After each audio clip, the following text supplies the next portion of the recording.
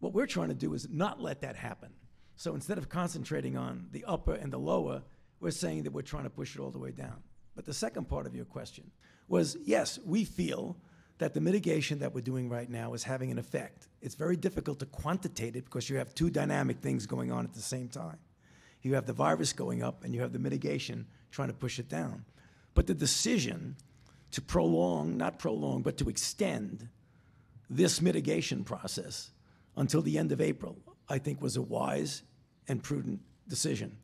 Uh, Dr. Birx and I spent a considerable amount of time going over all the data, why we felt this was a best choice of us, and the president accepted it. So, in direct answer to your question, the idea that we may have these many cases played a role in our decision in trying to make sure that we don't do something prematurely and pull back when we should be pushing. Dr. Birx said, this is exactly what you see. There are a number of communities, cities, states, what have you out there